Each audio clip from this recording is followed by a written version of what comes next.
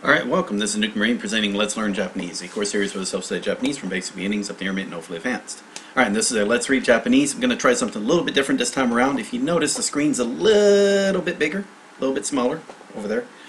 Alright, so up above is not the normal video player, it is uh, Netflix. So I'm going to try something. I'm going to be playing off Netflix while doing the Let's Read. Uh, so this is episode 6 of Keikon Dekinai Toko. Um, again, this is also the time I'm actually trying to do two reads in a day. As currently, I've been doing just one a day, but um, we're gonna see. A, my my plan has been to like do two readings early in the day, and then then I'll do follow that up with some uh, studying, and then after that, just whatever, just watching whatever. Um, but yeah, for the live streams, I like to.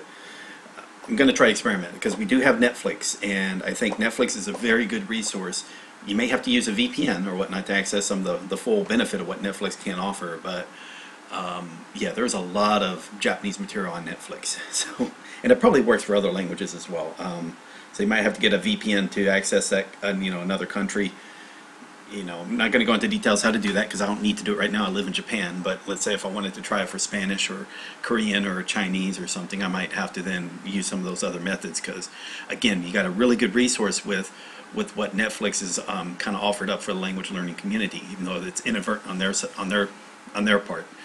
Um, and who knows? Maybe later on they'll if they ever unscrew this whole problem with the um, the whole live streaming with with the, with the whole streaming um, on the internet.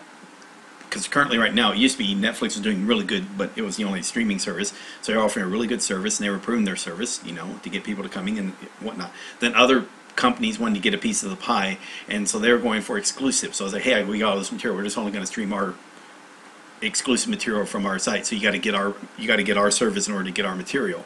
Um, I, I could hopefully, I mean, I saw a video that suggested like I would hope in, in time they get to where um, you can't have exclusives. So your streaming service is different. You can't be a production company and also offer a streaming service for what you produce. So it's got you got to have those different things. You can have a you have a streaming service, sure, but you got to keep it separate from your production service. So the production service, they got to be willing to say they want. You got to understand they're making this to make money, so they should say be willing to put give this to everyone who wants to go and put it out to, for people to see. Um, it was on the idea back in the time when you had stu studio companies, studios making movies, but then they also had theaters showing the movies. And so you'd only have, you could you need to be able to see all the movies that Hollywood was making. You would need to have like three or four theaters in a town. That was just impossible. That was never going to happen. Um, same thing. Now we're getting to where if you want to see all the material, now you got to instead of having one streaming service, you got to have like multiple streaming services. You mean just be able to, you know, have access to just to material you want to see. And again, it's going against uh, the, the consumer.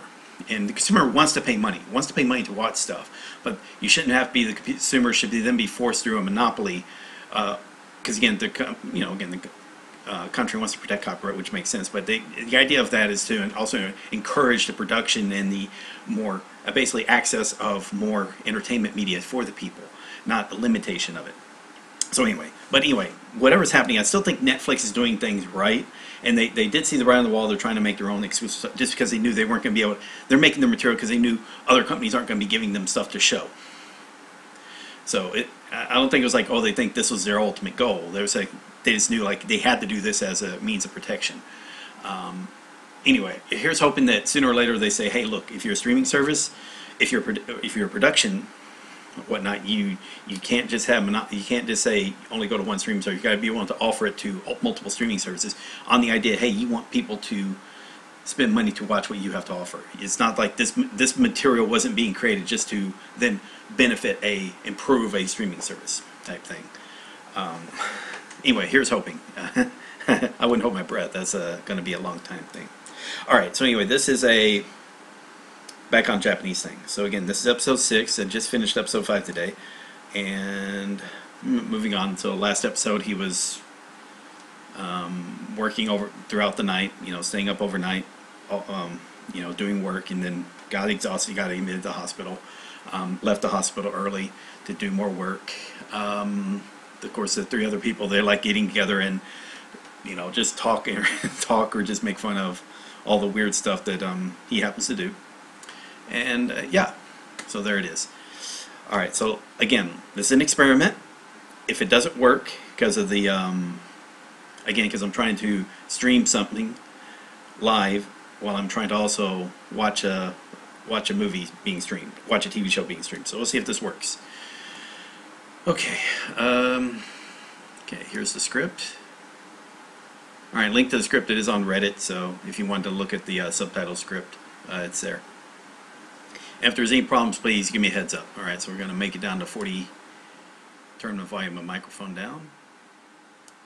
Okay, so you shouldn't be able to hear me as much. All right, let's bring it here. All right, let's see if this works. If not, then I'll stop the stream and we'll do it the normal way, where I have to down, uh, download it first.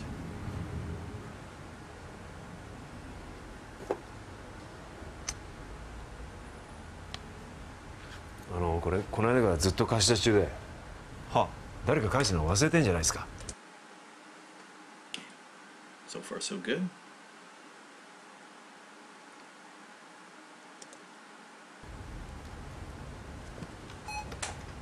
あ今日また別の人借りたみたいですね。いつも通ります？さあ。いいです。いらっしゃいませ。少々お待ちください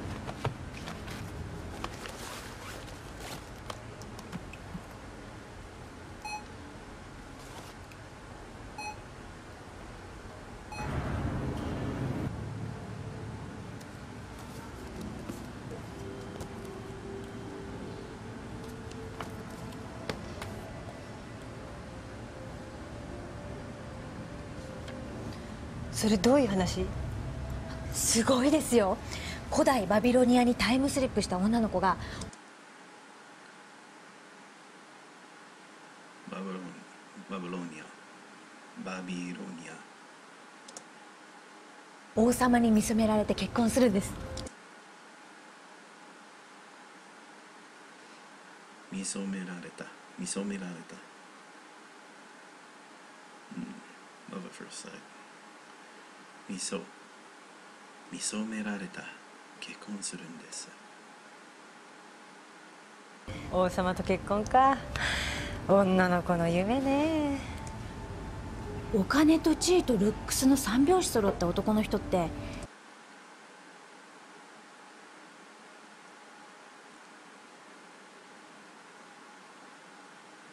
三拍子ソロ。うん。三拍。三拍。三拍子が揃った。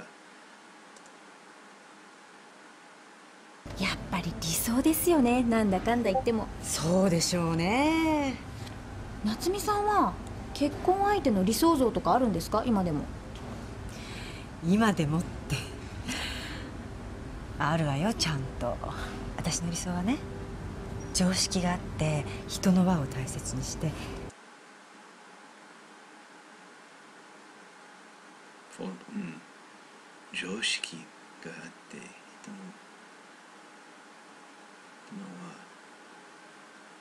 人のは大切にして、それそれで私と生活スタイルが合う人かな控えめですねそう言われると控えめね控えめですね。控えめですね。うん、そう言われるとそう控えめで。でもいないのよなんで？そう。じゃあお金と地位とルックスの全部揃った男の人ってますますいないのかな？桑野さんってさお金と地位とルックス一応全部揃ってるじゃない？だから何ですか？言ってみただけ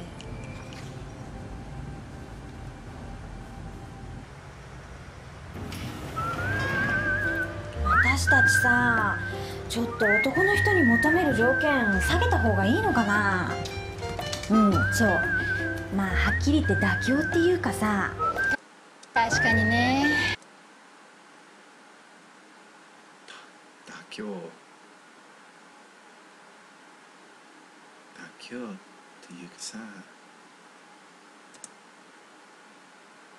時々思うんだよね。日本に私の理想の男性はいないかもって。そのうち地球にはいないとか言い出すとやばいよね。かなりやばい。でも年収1000万くらいは欲しいなとか思うじゃない？1000万って相当多くない？普通どれくらいよ？さあ会社によって違うと思うけど平均年収ってどれくらいなんだろう？440万だ。びっくりした。どうしたの？平均440万だって。えー、そんなもん。現実は厳しいね。うんじゃあまた明日。平均年収が600万を超えるのは40過ぎてからだ。1000万の男と結婚したいなら奥さんに先立たれた50先だ先立て先立てた先立てた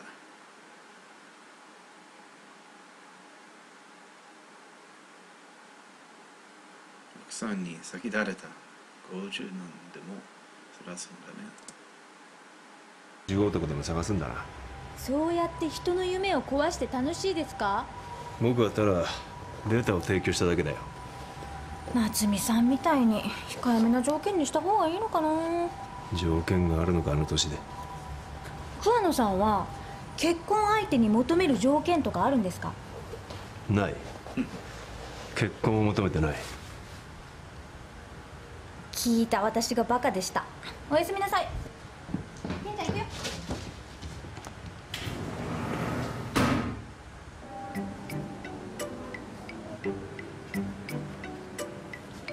先生これ何ですか？ああそれ？お見合い。お見合い？患者さんに押し付けられちゃってね。断るつもりだけど。見ていいですか？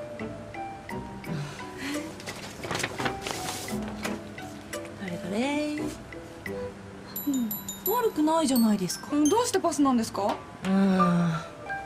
30過ぎて何回も転職してるっていうのがね。うん。地に足がついてない感じがして。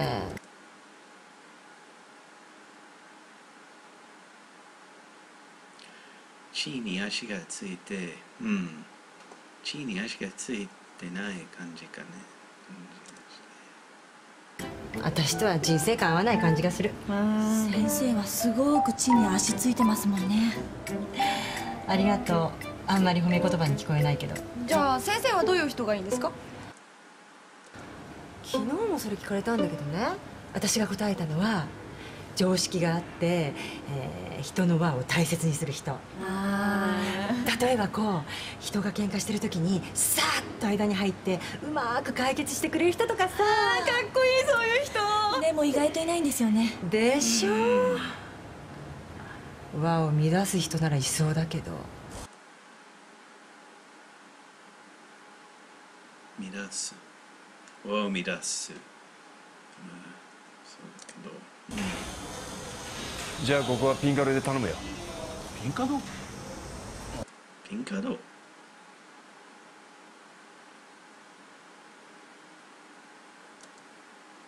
分かってるよ。図面通りやるよ。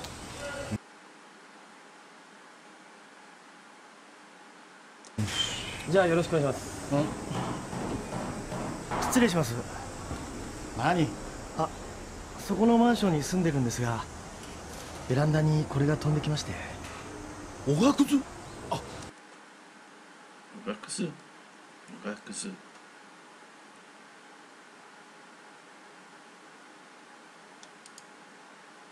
おが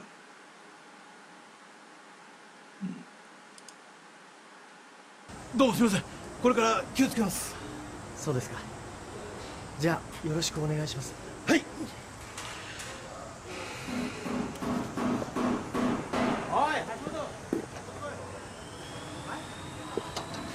音楽ずぐらいで。ああいうのクレーマってのか。さあ。うん。あ。私はクレーマーですか？あいやあの。謝れ。あ すいませんでした。聞こえると思わなかったんですけ聞こえなければそれでいいんですか？どいやそういう意味じゃなくて、どうもすみません。こいつちょっと変なもんで。変？はい。変ってなんだよ。どこさくさに紛れて。変だろ？え？大体よピンカズだってメントリだって変わんねえだろ？おいおい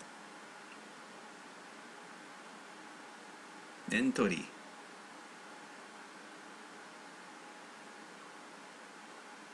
ピンカドだと。エントリーだって。またお得意の手抜きか。手抜き？まあ手抜き？まあや。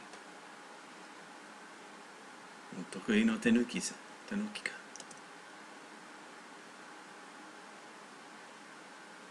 ちょっと。やめやめなさいやめなさいやめなさいやめなさい。やめなさい。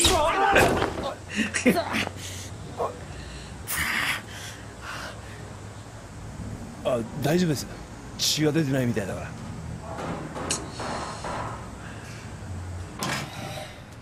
ら。よかった。血が出てなくて。本当怪我でもされたら大問題よ俺の頭が滑ったんだよ。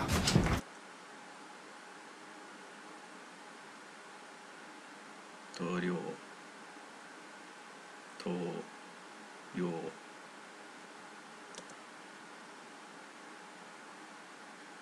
また人のせいにして。改めてお詫びに行ってね。私たちのお客様はこれからずっとあの家に住むのよ。ごき改めて改めて改めてお詫びに見てよお詫び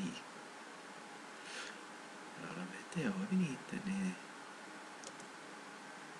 近所で気まずい状態じゃ困るでしょ気まずい状態じゃ。分かっていくよ。あの人八木さんって方？お好み焼き屋のチェーンのオーナーさんなんだって。いつも本店にいらっしゃるそうだから今夜菓子折りの一つも持ってお詫びに行ってね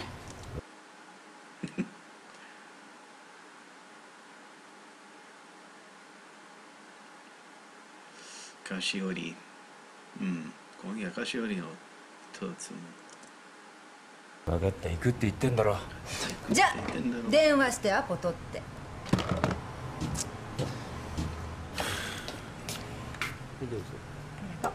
れなんだこれ。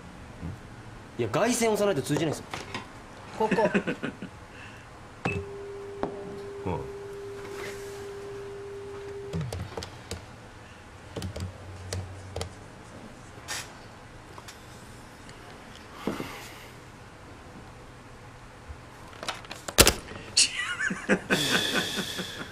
中だ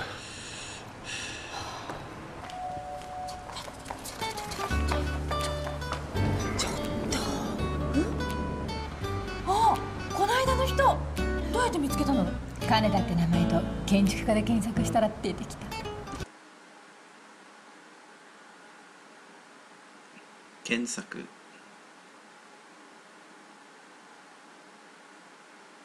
検索したら出てきた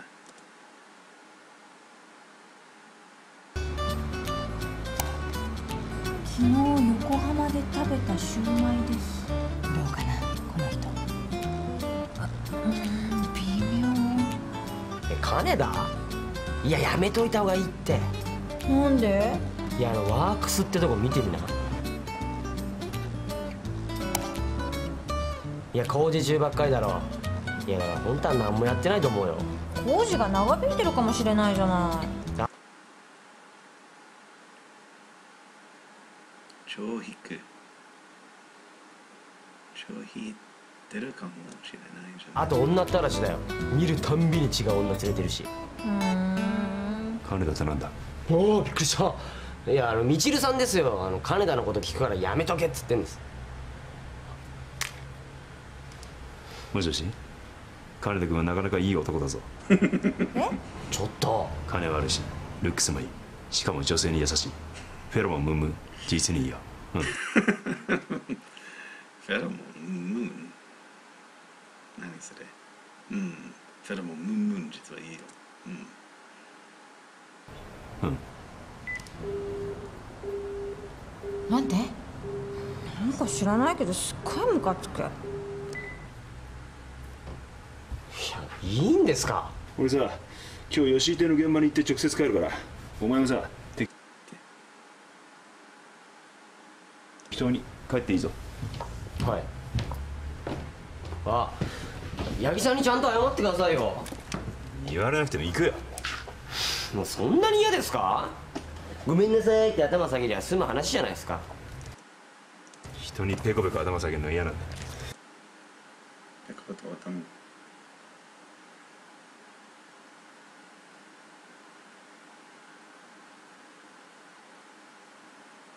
きっとねペコペコ頭下げるのは嫌なんです。独立や。そんなこともないと思ったのに。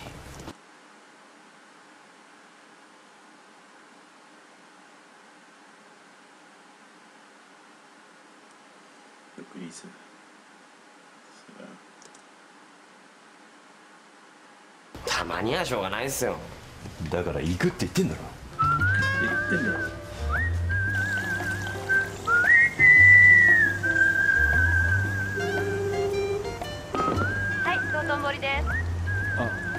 ああのあご予約の方ですか？いや間違えました。あれ？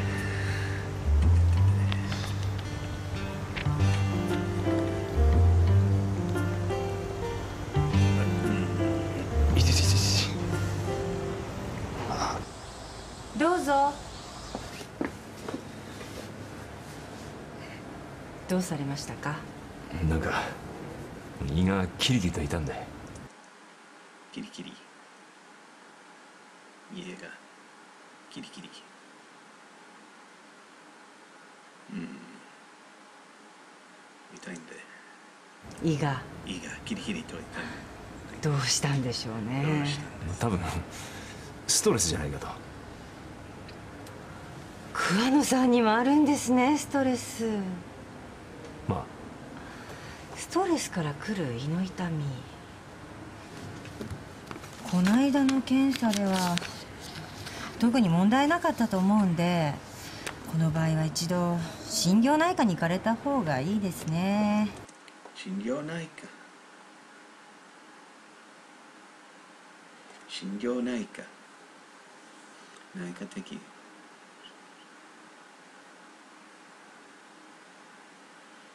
うん。心療内科に。いやこれはすぐに治してほしいんです。だったら治療というよりもストレスの元を取り除いた方が早いですよ。人生には逃げようのないストレスもあるでしょ私でよければ話だけでも聞きますよ。いいですあそうだ。ここの店確かこの近くでしたね。道頓堀？近いですよ。結構美味しいです。行くんですか？たまにオーナーの八木さんがここに診察に来られたこともあるんで。知り合いですか？ええまあ何か？お好み焼きって結構ヘルシーなんですよね知ってますよそれが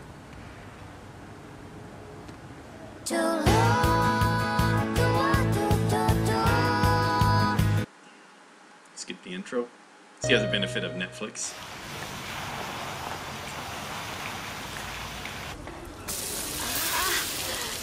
いやい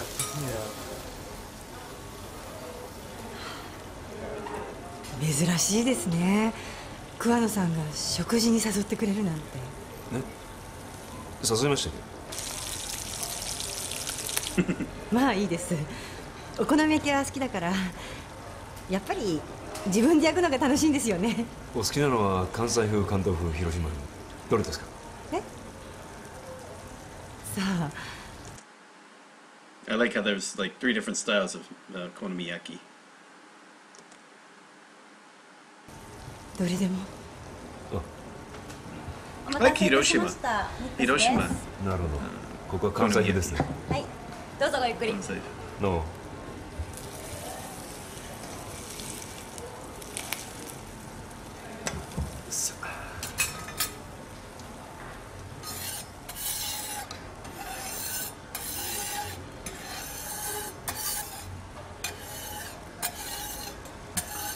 さんいつもどうもありがとうございます。どうも。ありがとうございますあ君ちょっと。はい。そこのお客さんに映像差し替えて。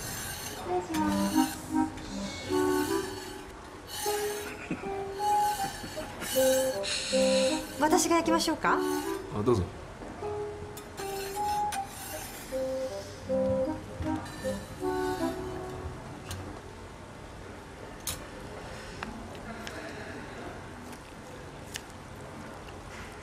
お聞きしますがそれはどういう趣旨でかき混ぜてますか？終始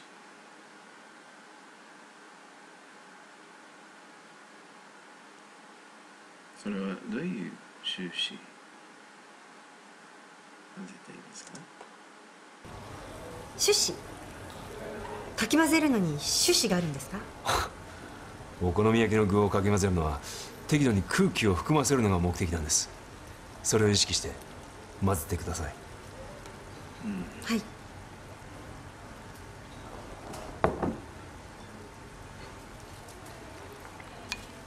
混ぜすぎるとキャベツから水分が出てしまいますからその点十分注意して。はい。詳しいんですねお好み焼きのこと。常識です。そうですか。はいいいでしょう。はい。関西風は鉄板の上に厚さ3センチぐらいに伸ばすのが標準なんです。まず山盛りにして。標準。標準。そこから伸ばしていく方がいいでしょう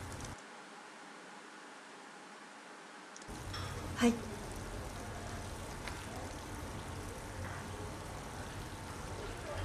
自信がなくなってきました。お願いしてもいいですか？できないなら最初から言ってくださいよ。すみません。やっ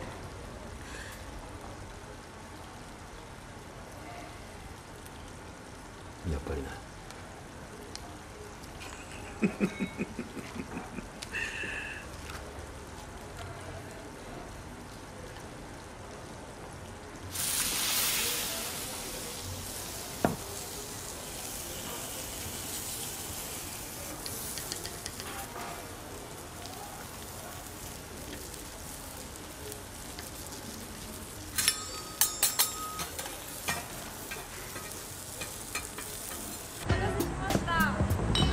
good restaurant to go to. You know, just make your own Japanese 今日 pancakes." は沙織ちゃんに聞きたいなと思ってさ。何でしょうか？エイジ君ってあなたの理想の相手なの？さあ別に考えたことないですけど。適当かよ。エイジ君はどうなのよ？彼女が理想なわけ。そうに決まってんじゃん。うわなんか今の取ってつけたって感じがした。ねそうだったよ。ねえそんなことないよ。じゃあ沙織ちゃんのどこが理想なのか言ってごらん。人のデートに乱入して波風立ってるようなことすんなって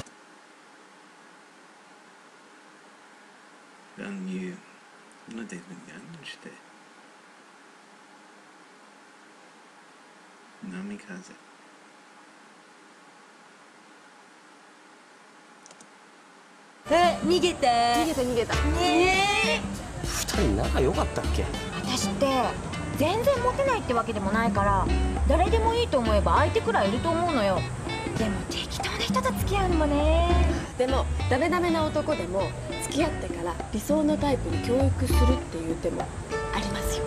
あそれあるかも。でしょ？よしこの辺で少し回転させるんです。どうしてですか？こうすると鉄板の温度にムラがあっても安心なんですよ、村が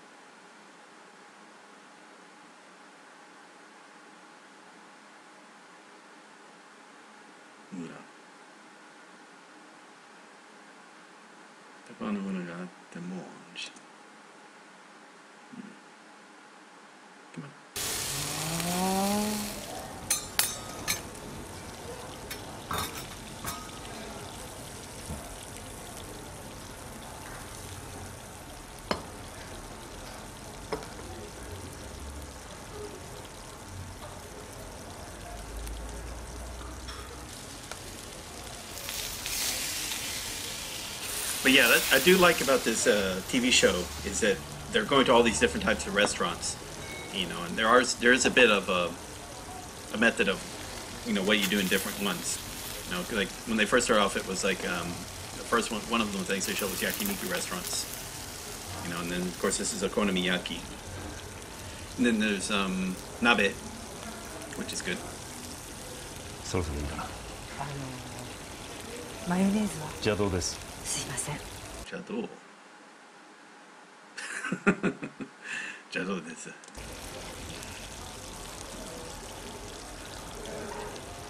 よしできたよし、できた。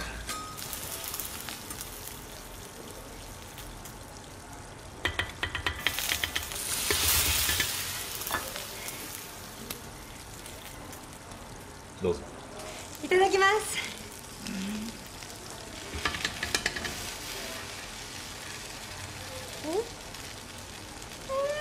おいしい美味しいように作ってるんです。ああ早坂先生。こんばんは。いらっしゃい。いら。あ。どうも。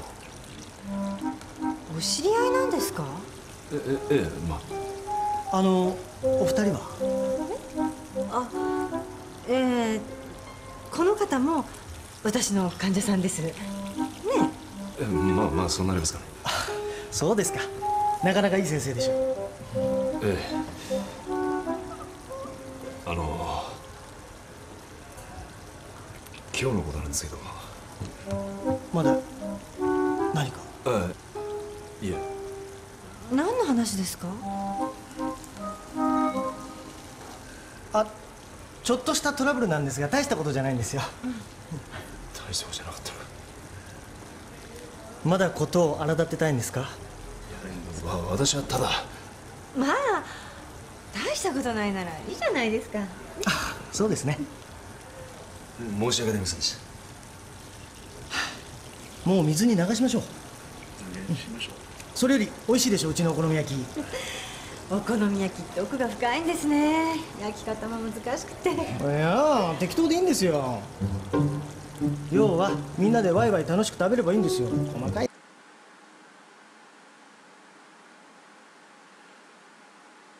みんなでワイワイ。みんなでワイワイ楽しく食べ。作り方なんか気にしてたら何も楽しくないでしょねうん。そうですよね。えじゃあ今日はビールおごっときますから。ごゆっくりしてください。すみません。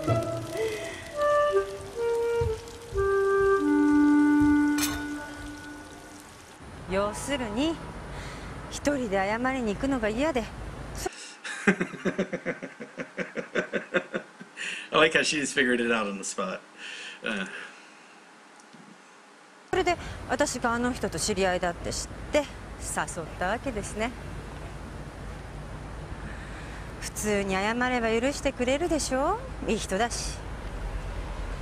あの人のこと随分と高く評価しますね。仕事がちゃんとできる上に常識があって円満な人間関係を築ける人のことは評価するでしょう普通。Enman.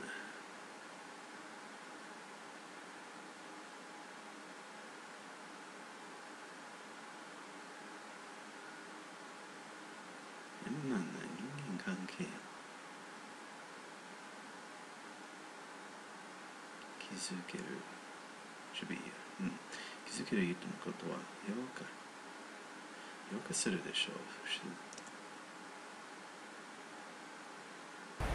常識ぐらい僕だって心得てますよ。お好み焼きの焼き方は常識っていうよりうんちくでしょむしろうんちくを語りたくてもそれをうんちく。抑えるのが常識じゃないんですか？常識通り生きるなんて誰だってできますよ。たとえ常識から外れても自分を貫き通すことに価値があると思いますけどね。貫貫き貫き通す。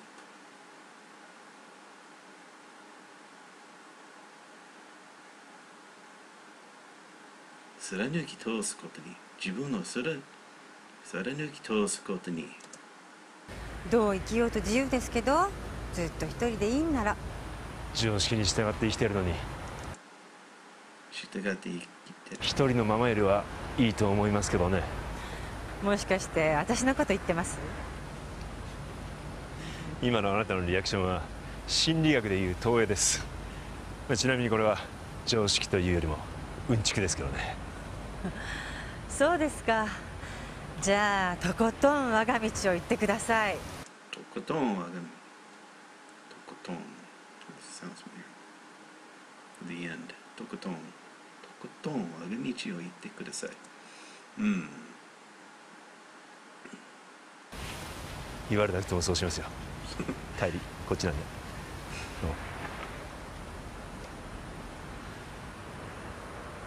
ごちそうさまでした。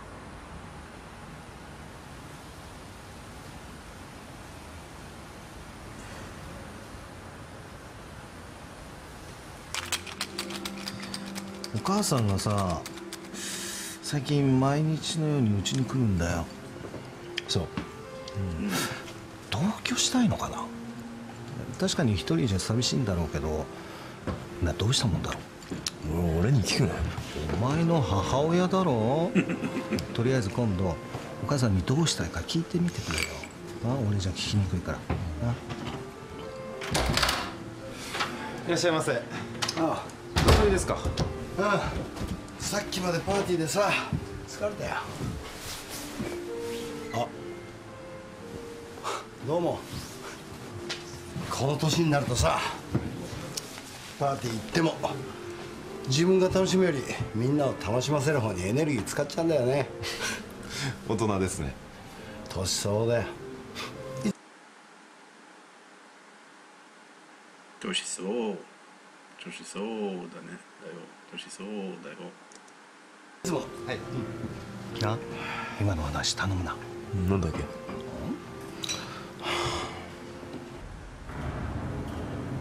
らっしゃいませ。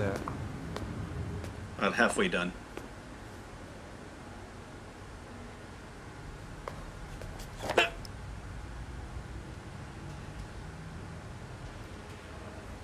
これ見る？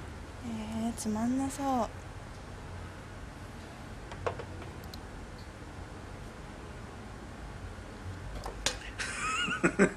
身の暇だし。うんそうだね。うん。いらっしゃいませ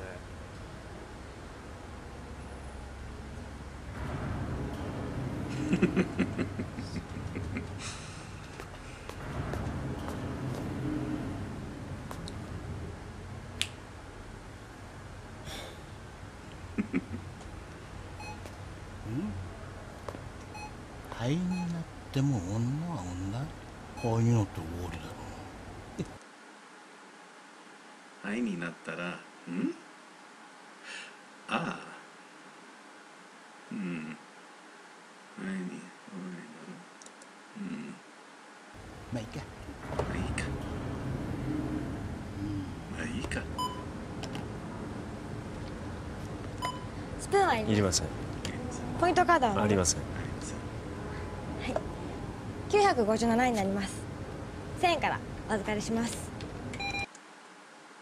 And this is also pretty good in the yeah, this is what you'll deal with at just normal convenience stores, although not how he's acting toward them, but but yeah, 1000円からお預かりします。Um, お預かりします。コンビニ弁 I guess is what it's called. Or コンビニて、uh, て丁寧語。コンビニ敬語。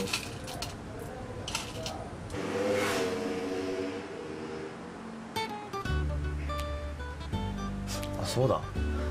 あの昨べちゃんと謝り言ってくれました？あ言ったよ。えー、マジっすか？こんにちは。ああ佐々木さん。あ昨べ桑名さんちゃんと謝り言ってくれたらしいっすよ。えそうなの？そんなに驚くことかよ。そうじゃあご褒美に新しい仕事。ん？ご褒美？ご褒美に新しい仕事？ね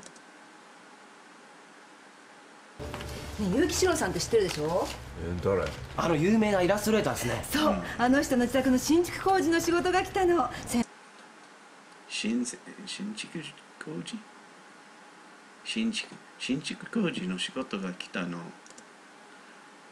の。先方もぜひあなたに依頼したいって。すごいじゃないですか。先方も先方相手の人。うん。先方もぜひあなたの。依頼。依頼したいって。何？そんなすごいの？300坪の土地にアトリエも一緒に作ってほしいんだって。アト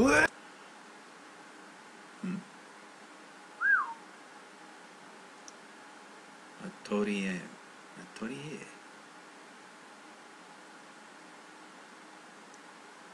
アトリエ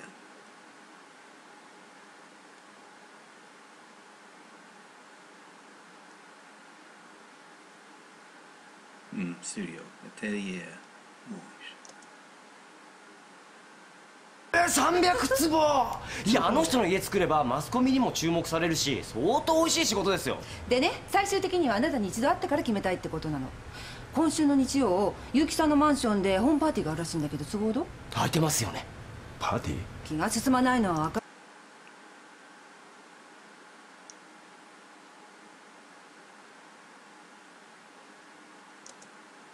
あるけど仕事のためなんだから少しは社交してよ。いや一食浮かすつもりで行くか。一食沸かす。うん。セーフ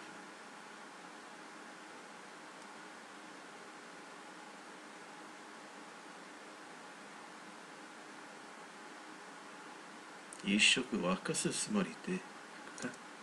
気に入らない人がいても喧嘩なんかしないでよ。相手構わず映画のうんちく語るのもやめてくださいよ。あのなそうそう。男の人が多いパーティーらしいからできるだけ女性を連れてきてほしいっておっしゃってたわ。じゃあ沙織も連れてきますか？ね他に誰かいな？いまだ足りないですか？足りない。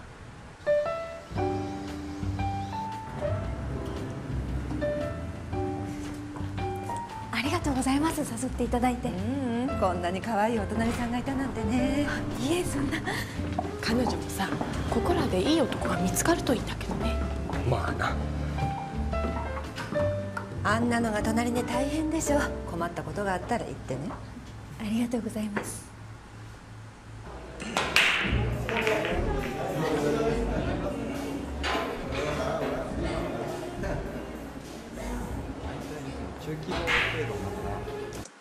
大体中規模をうん、中規模程度中規模程度のだからやっぱり写真とか、um, that's displaying or exhibition 停止？展示？展示？展示。写真とかの展示。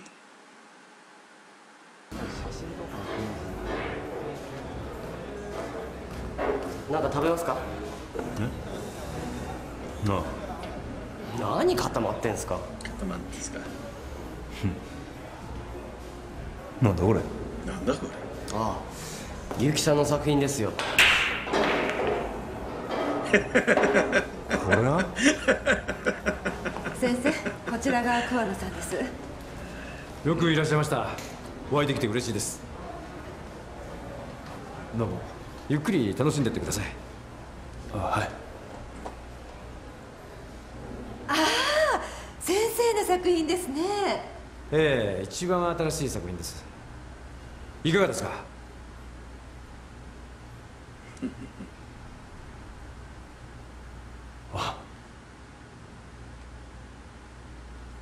なかなか興味深い作品ですね。ありがとうございます。あなたに作っていただく家には私の作品をたくさん飾りたいと思ってるんです。あええいやおお生お家新築するんですって？ああこちらの桑野さんに設計してもらおうと思ってるんだ。どんな家にするんですか？まあそれは建築家の人とのコラボレーションだからね。ええ希望をお聞きして形にさせていただきます。希望としてはとにかく派手なのがいいな。うちでパーティー開いた時に来た人がみんなびっくりするみたいな。生活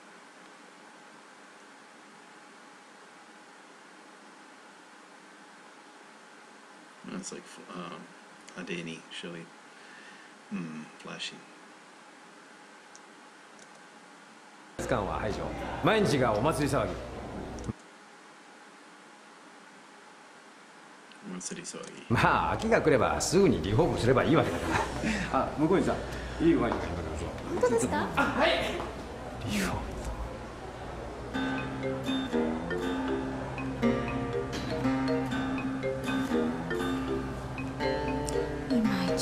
いちいないな毎日もう少しもう一もう毎つ毎日毎日いい男なんだ。うん。どう？楽しんでる？どうも君桑野さんの彼女？いやそん。なんじゃないですあそう。じゃあ今度僕とデートして。ねそんないきなり？ええ。桑野さんって寡黙な方ですね。うん科目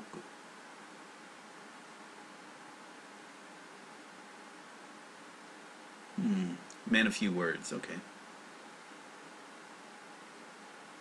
科目 let's see what this kanji is うん。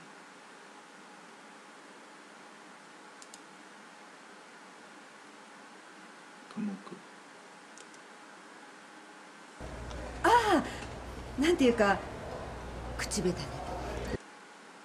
口下手。口下手？口下手。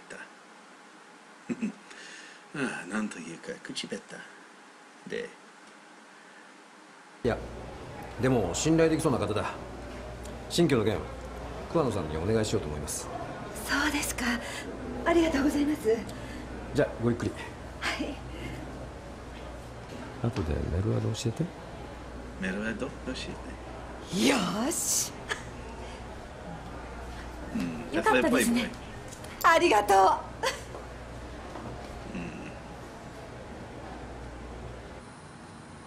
しょうがない お母さんにこの間の件聞いてくれ。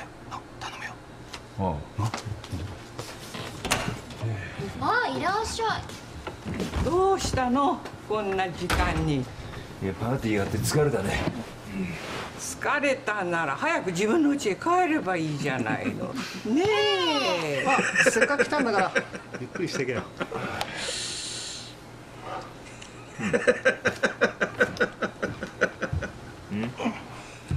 ほど見るのかちょうどねみんなでこれから見ようとしたとこなのよ。一緒に見る？やだよこんな子供映画。ああ今のだったらさ黒沢映画からの引用だな。黒沢？お黒沢いいじゃないのそんなこと。さっきからうるさいの。映画に集中できないじゃない。親切教えてやってんだろほらこの頃の映画さ CG と実写の区別がはっきりしてる。実際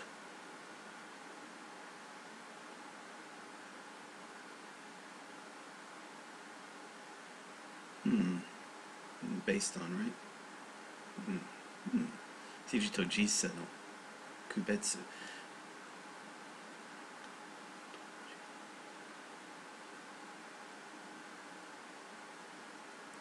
実際の区別はっきりしてるんです。そうなの全然わからないな。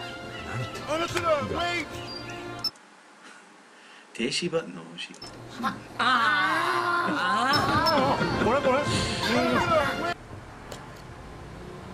じゃあさ、ここスプリットさせるか。スプレットをさせるか。わかりました。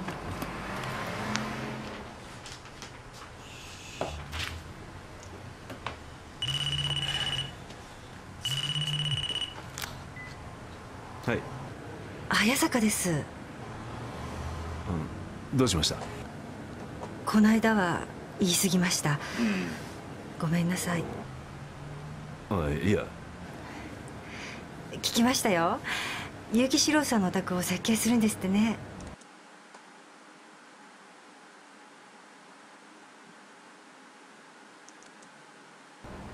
え？あなたに常識がないとか言っちゃってプロとして立派に仕事してる人に失礼だったって反省しました。有名人と仕事するからってそんなに手のひら返したように言わなくてもいいですよ別にそんなんじゃありません。素直に喜べばいいじゃないですか。いい仕事が来たんだから。まああんまり気の進まない相手なんですけどね。まあたまには常識的に振る舞ってみようかと思う振る舞おう振る舞おう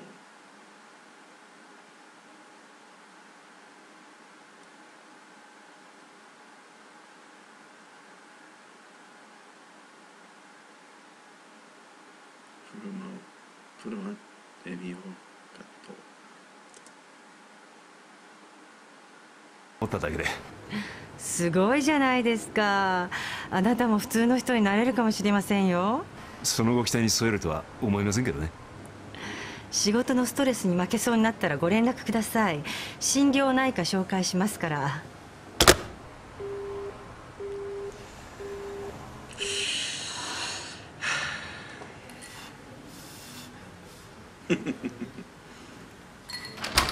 まあいいんだね吸う音い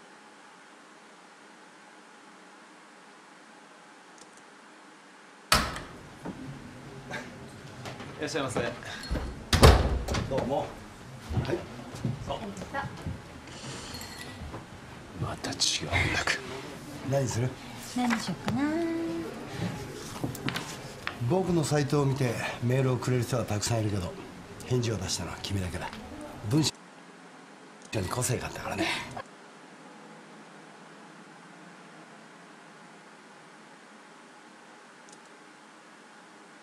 嬉しいかも。あちょっとトイレ行ってこようかな。好きなの選んで。俺はいつもの。はい。どうも。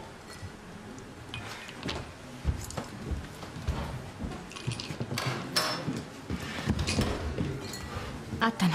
今日が初めてなんです。みちるには黙っていてください。なんで？誰と会うと自由だろ抜け駆けしてるみたいだし。抜けが抜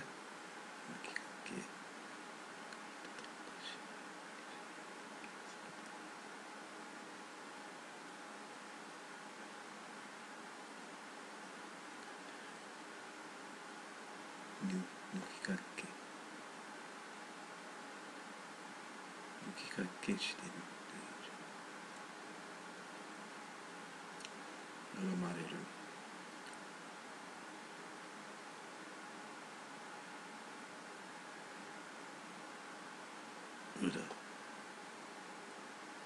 裏恨まれる。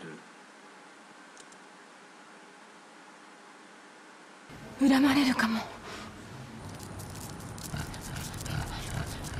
あこんばんは。あ。お仕事忙しそうですね。まあ。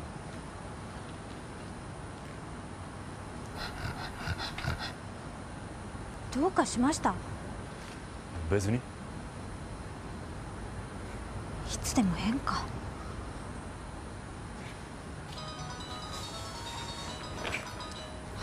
また結城さんか。うん。あいつとメルトモになったの？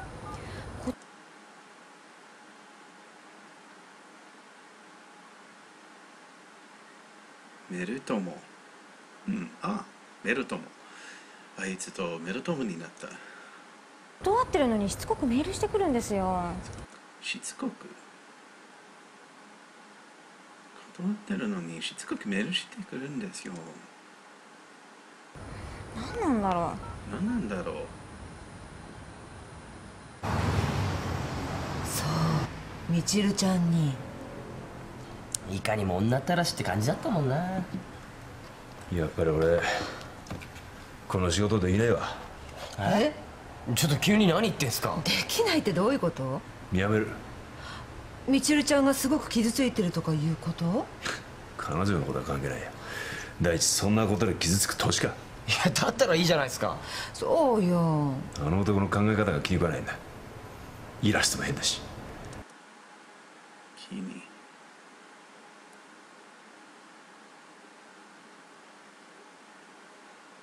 気に食わない。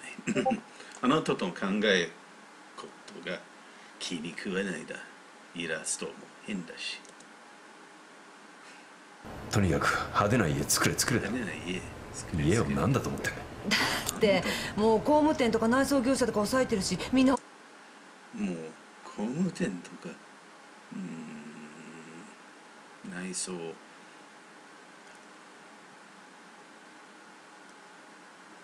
内装業者業者とか抑える抑えてるし。大きな仕事が来たって喜んでんのよ。あなただけの問題じゃないの。結城さんとだって契約書交わしたじゃないのよ。そうですよ。今更辞めるなんて言って違約金請求されたらどうするんですか？違約金。違約金。請請求。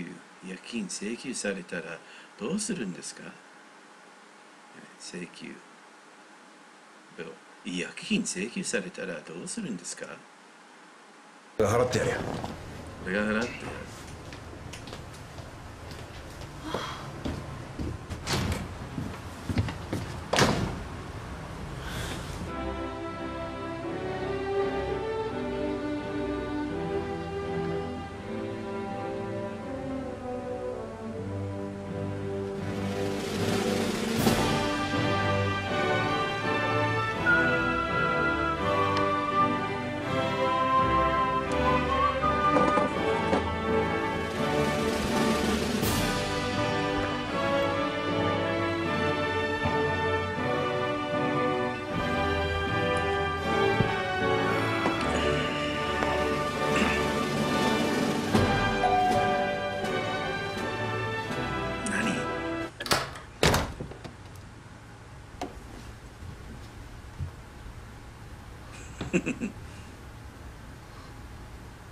何？あのエイジ君に聞いたんですけど私のことで仕事降りたんですって。君のことじゃない。私ならいいんですよ。メールが来たって無視してればいいんですから。だから関係ないって言ってんだろ。もともとあいつの家を建てるのは気が進まなかったんだ。でも私のことがなければやってたでしょまあ我慢したかもしれないけどな。じゃあ我慢してやればいいじゃないですか。そんなことでいちいち切れてたらキリがないですよ。俺は自分の気持ちに正直でいたいから断っただけだよ。変な人。変で結構です。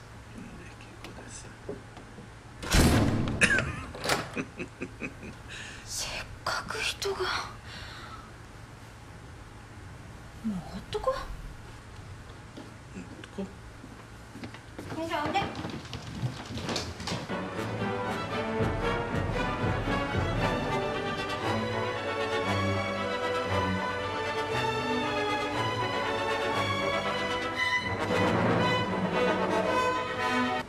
ですか。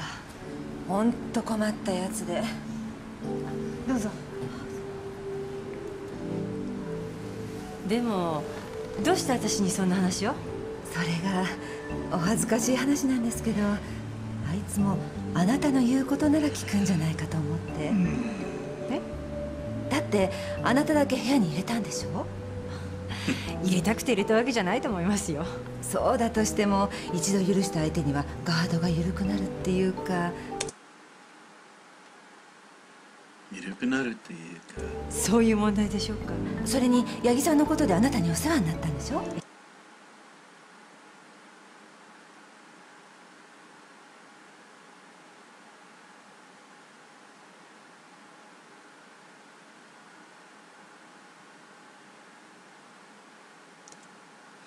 いやお世話っていうか。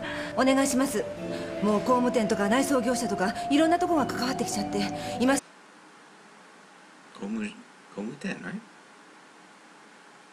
工務店工務店とかない？内装業者。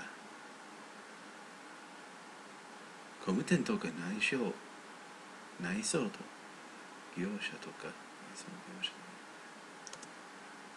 今さらやめろさら辞めると困る人がたくさんいるんです。お願いします。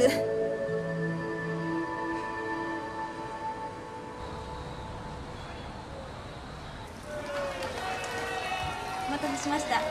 ミックスです。どうぞごゆっくり。どういうことですか？ええ。ああのこの間桑野さんが焼いてくれた お好み焼きがすごく美味しかったんで。この間はバカにしてませんでした？そんなことないですよ。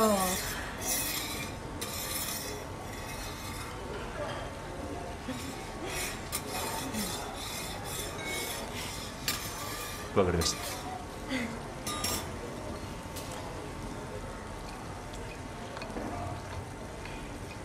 気を含ませる感じでかき混ぜるんでしたよね。そうです。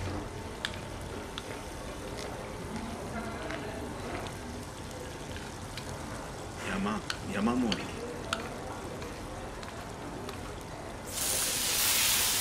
山盛りにして3センチぐらいの厚さに伸ばすと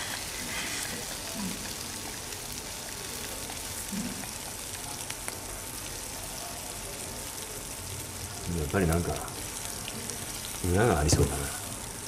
裏がありそうだ何ですか？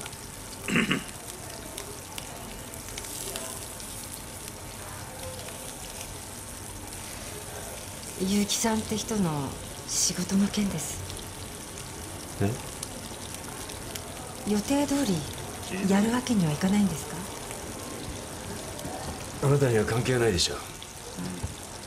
ありませんよでもあなたがこの仕事を断ると困る人がたくさんいるんでしょここは私に免じてっていうか。免じてって免じて。免じて。ここは私に免じてっていうか。意味不明だな。この間ここで助けてあげたじゃないですかそうですか。そういう人ですか。まあ確かに。あなたに借りがあるかもしれません。でもそれとことは違うこれはね僕の仕事なんです。どうしてそうかたくななんですか。ポリシーの合わない人の家を作ってもいい仕事ができるとは思えないからですよ。医者は相手のポリシーとは関係なく治療しますけど。仕事の種類が違うそうでしょうか？私はいつも患者さんと正面から向き合ってます。あなただってそう。あいにくね僕が向き合ってるのは家なんです。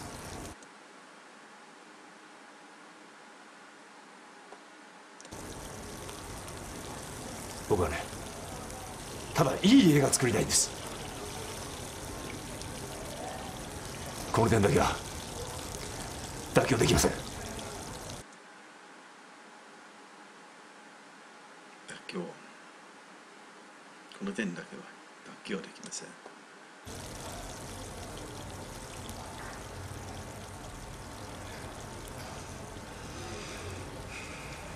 そうですか。うん。しょうがないですね。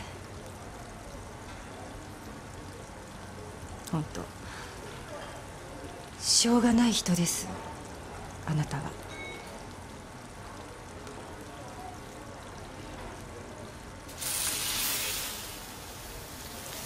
ああちょっとこれあれうわこれこれもうダメだこれ。やり直し。まあ食べられないことないですいやダメですよ。ちょっとお嬢さんちょっとこれ捨ててください。いいじゃないですかこれ。はい。いやダメです。やめなさいって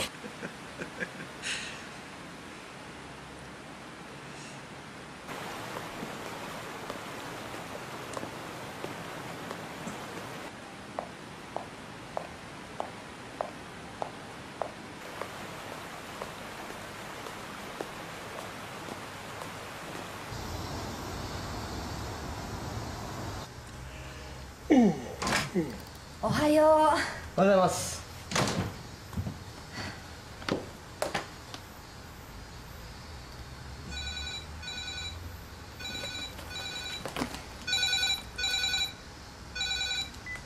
はい。どうも。あのゆうべ桑野さんに会いましたはい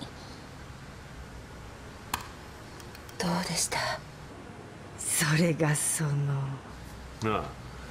俺あの仕事やるから。え？あの実は。やるって言ってます。え？今朝になって急に結城さんに自分の家づくりのポリシーぶつけてみるって言い出しやがって。家作りのポリシーぶつけてみるって。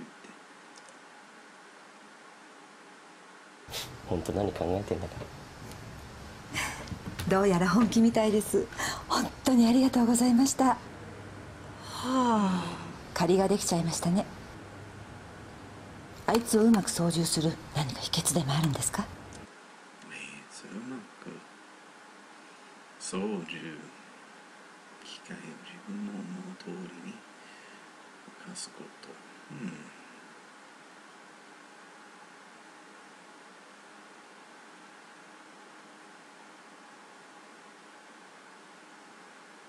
操縦さあ。秘訣？秘訣。秘訣できる。秘訣でもあるんですか？教えてほしい。何ブツブツ言ってんだ。よ打ち合わせしようよ。はい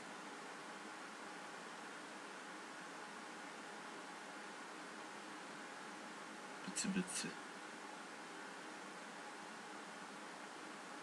ツブツ何ブツブツ言ってんだよ。ほら。はい。それでは俺は改めて失礼します。さあ。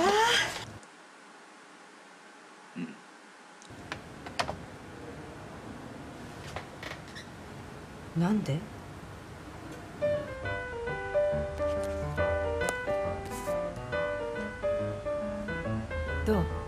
王様と結婚した？まだです。なんかすごいことになってます。他の国の王子にさらわれてそれが元で戦争になっちゃってます。現実は理想通りにはいかないものよね。私自分が男の人に求めるものってお金とか地位より私だけを見てくれるってことなんじゃないかなって気がしてきました。うん。まあコロコロ変わるんですけど私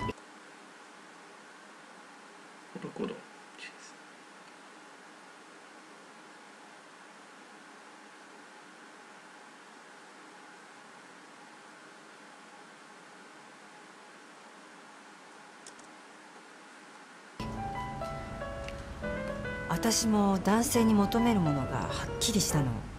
何ですか？その人が何を考えてるかちゃんと理解できるこい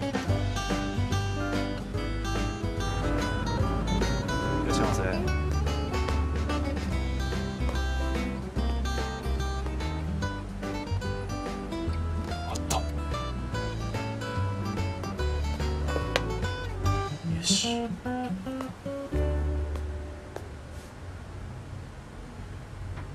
どいて。いらっしゃいませ。こちらリメイク版になりますけどよろしいですか？え？リメイク版？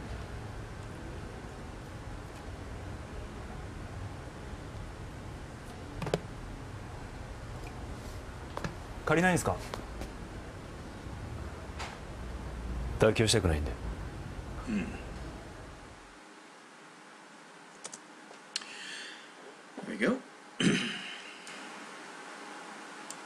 all right, so the audio's back to normal. So that's the. Uh, all right, so like I said, I don't know how this ended up with the broadcast. So if y'all can mention on the uh, comments or whatnot, hey, did this work out? Because again, I'm trying to live stream at the same time I'm watching a show on Netflix. I am guessing that makes my.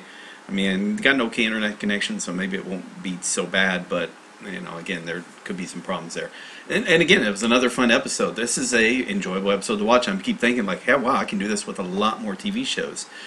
Um, it takes a little bit of effort uh, because to do this part here, where I'm, you know, able to put the subtitles into Reddit, uh, just so I can be able to more easily, you know, read it and then look up the uh, look up the definitions. I could do it on here. I mean, if I showed the subtitles, because this is what, and this is how I'm getting. I get sub a dub. Uh, let me just show you real quick. Come bring it down here. Um, yeah, so with sub dub, you got the option of download SRT. That's a um, yeah sub read file or whatever, and then that's the uh, subtitle file. Uh, you also choose like which subtitles. In this case, there's like uh, Japanese. In, in this case, it's only Japanese, and then you can do show, show subs or hide subs. Right now, I had it on hiding the subs. Um, and then there's the subtitles for. Uh, there are the subtitles for Netflix. So in this case, for this show, it's in Japanese. So most likely, because there are no English subs for this or no English audio, that's the reason why you probably won't see it in USA Netflix. They tend to, if there are English subs available, then they will show that on English Netflix. From what I'm noticing, uh, when it comes to Japanese shows, um, definitely there's Netflix exclusives or originals. They call it. They might call them Netflix originals, but really just means they got the the the the streaming rights to them. They're the first ones to get the streaming rights for it. From what um, I've been noticing, I could be, and again, I could be wrong. The um, overall, it's uh, yeah, pretty good. Um, I mean, because what I could do if I wanted to, you could play here and then show the subtitles and actually look at the definition. But just it, um, the player messes up, like it, um, it loses focus, and now you got to click on the player again to. It, it just kind of a bit more tedious. This was much more fun because you know I could pause and read and you know go back if I did if I missed a line I can actually go back and even further with it, and I didn't have to rewind or anything. I felt like um, I was getting a lot more from the show just doing it this way. Now again, this is with Japanese shows. If this was an American show with Japanese subs and dubs, it would um, be a lot more off. Like the audio and the subtitles are not, most likely, are not going to match.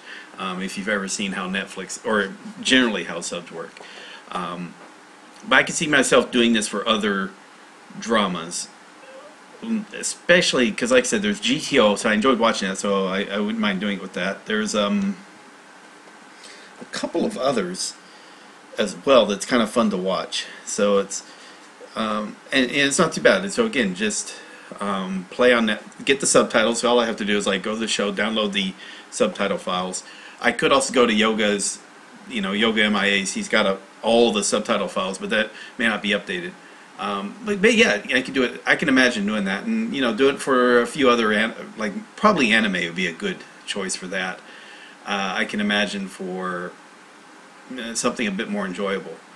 Uh, but you know, I might just still stick to dramas for right now until I, you know, it runs out because there are some shows. I'm not just going to watch every show. I'm just it's not if it's not interesting, I'm not going to watch it. Uh, let's see. Hana Chan said uh, Japanese subs and audio seem to match a lot on Netflix. Other languages are very off though. Um, well, I just meant like I was watching Titans and the the meanings matched up. Yeah, so it's no problem. The, but the what is written in the Japanese sub and what is the Japanese audio saying, they're, they're not the same a lot of the time, as in word for word. The meanings are the same. So if you said either, you're getting the same idea. So uh, yeah, and I guess that's also a good reason. let's let's go bring a, a real. Um, let's go step back a bit and mention that. So it's one of the reasons why they say never go from English to Japanese if you're studying. Like here's this word in English, how you say in Japanese. Definitely sentences. I mean, but even words like here's a word. Well, there's probably quite a few words in Japanese that can be said in that word, and you shouldn't be marking yourself wrong because now you're just kind of like you're being too focused in on just this one word. This is one Japanese word is the only thing that means this this one thing in English, and that's not never almost never the case. Um, definitely with sentences, there's like many ways you can say the same sentence and get the same meaning. Uh, you can get one sentence in English and, and say it many different ways in Japanese, and people would agree, yeah, that's that, the meaning is the um, the same.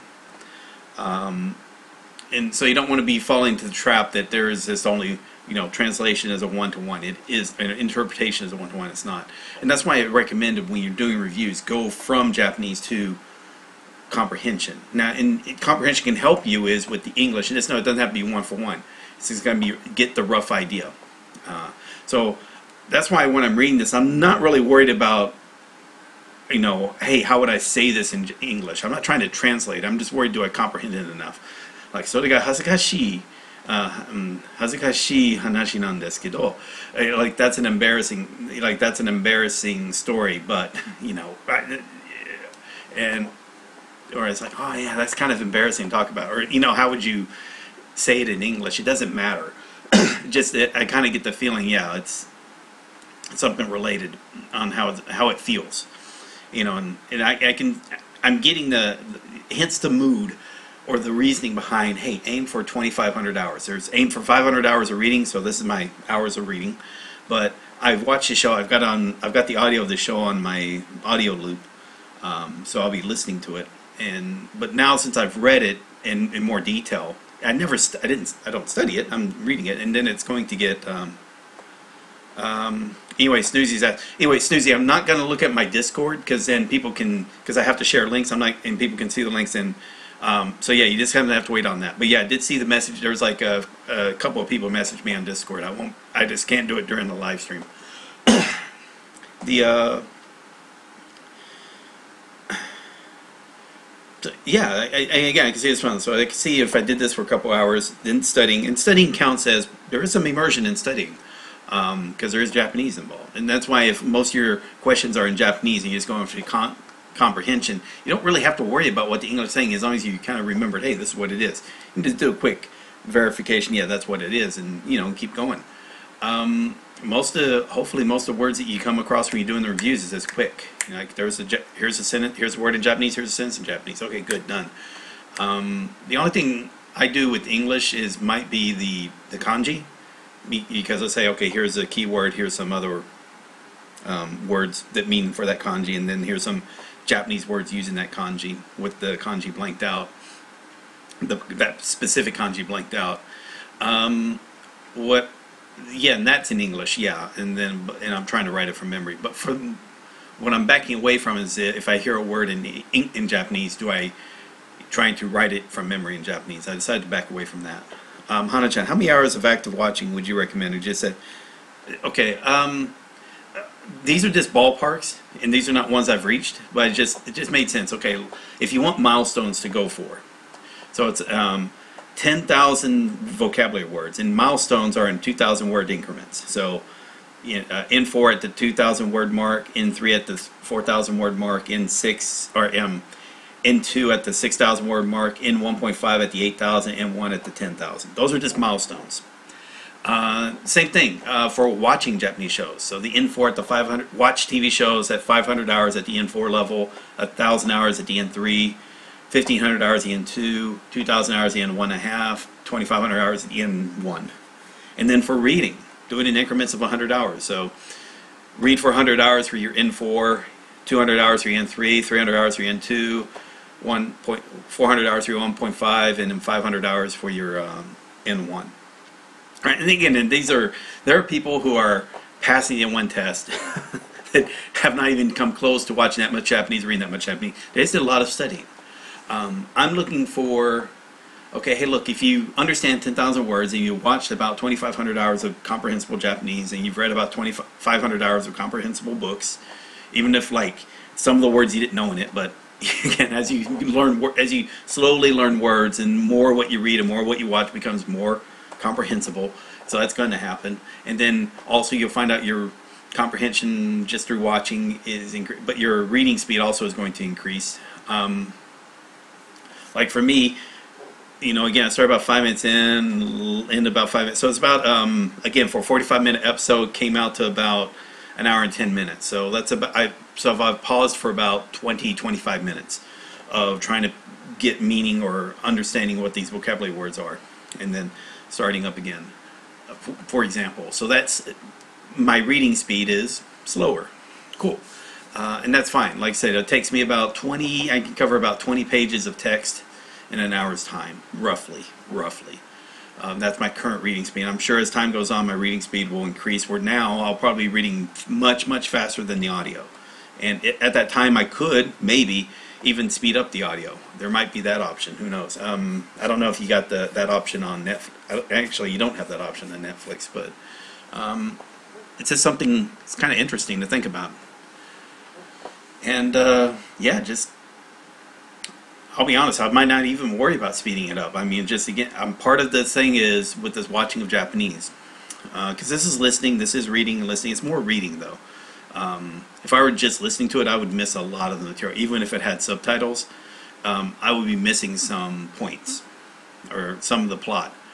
Uh, I, I would still comprehend a lot, but I'd be missing some more. De- if it's more of the detailed stuff, uh, like this part where I didn't really realize that he was refusing to deal with this customer, and that the it was the they were trying to talk him into that particular customer. I knew he had, I knew he was turning down a job. I was for I guess I forgot that it was like for that one particular customer. Um, again, I don't I don't know. The that just comes, but now that you slow it down to us, you know, to a point where it could be almost a word by word, sentence by sentence, if need be. It just, you know, you retain, you just basically comprehend a lot more. And again, as you study more, more you comprehend. So it should be fun. It just keep doing it, you know, doing it, doing it, doing it. Uh, There's a if you did reading for a couple hours a day, you could probably reach 500. You, you reach 500 hours in less than a year. Um, if you watch TV shows for three to four hours a day, again, in a year, to, year, year and a half, you've reached your 2,500 hours. Um, yeah, about a couple years, you reach 25. Uh, you you reach 2,500 hours. So it just depends, like you know, your comparison of your reading to your uh, watching. And again, th- this is numbers that are pulled out of my ass. Okay, it just um, I could be completely wrong.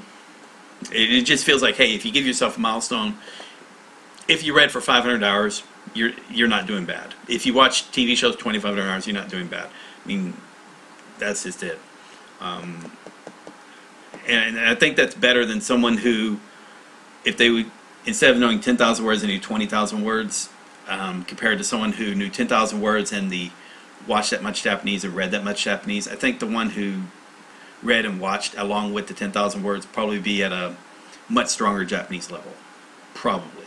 And again, I've got no proof other than, you know, some of the the, the commentary by those that have reached higher levels, you know, so, gu- such as guys who have passed the N1 like at a very good degree, but then they say like they couldn't watch a Japanese TV show to say they couldn't even follow along with the Japanese movie, like they just couldn't do it, or read a Japanese book, they couldn't really do that. Same with, um, whereas you got guys like Matt versus Japan, and he, a big part of him is about reading a lot of. Now he doesn't like read books like light novels and stuff. He he reads more um, historical or more, you know, he, he, what he he still reads a lot, but it's not like it's just a the subject matter is different. Um, let's see, Hana-chan. By watching, you mean studying like you're doing, or paying attention, not looking up words? I, I, either or. Uh, like I consider this reading because I'm, but I'm more. Oh, what was the term I called it? It was like uh, structured. There we go. Structured reading, structured watching. But let's say I didn't do this. I was just say sitting down reading a book. Yeah, that counts. That counts as reading. If you're just sitting down watch a TV show, that counts. That counts as watching. Um, I just feel like I, what I'm going to be doing in my time is try to do structured reading. so, um, if I didn't look up a single word, if I was just reading along, you know, maybe pausing just to make sure I catch a word or something, but if I was just reading along with audio and I didn't look up a single word, it would still be beneficial. Because I doubt I memorized any of the words I looked up. It just helped me make sure I didn't miss a plot point. Um, but I know enough of the, I, I probably would know enough to where what I didn't quite get, I would still, through context, understand. And it would still count as reading.